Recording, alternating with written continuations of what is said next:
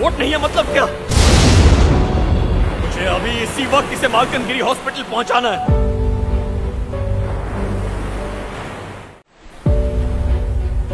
Vote नहीं है मतलब क्या?